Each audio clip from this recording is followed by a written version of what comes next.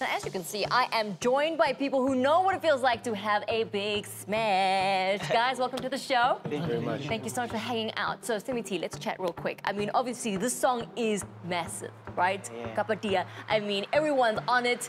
You're finding yourselves on the MVCA stage 2020. This is huge. Did you ever think that this would happen?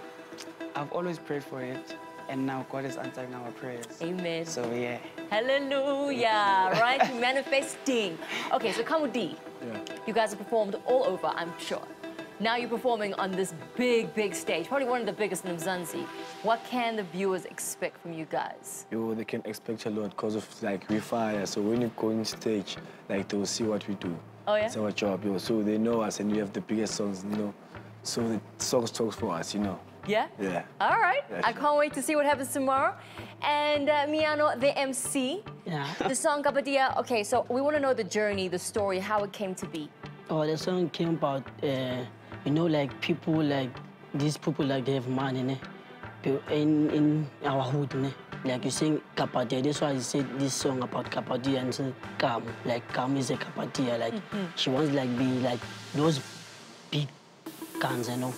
Yeah. Okay, big guns, right? Yeah. Listen, 2020 is a very exciting year for many people. What can we expect from you guys for the rest of the year? we'll be releasing more music this year. Oh, yeah? Like What EPs. What hits? Yeah. What's the next goal for you guys? Uh, Aish. releasing my EP, Semi Tee releasing EP, EP. you know. Yeah. Aibo, akabatiya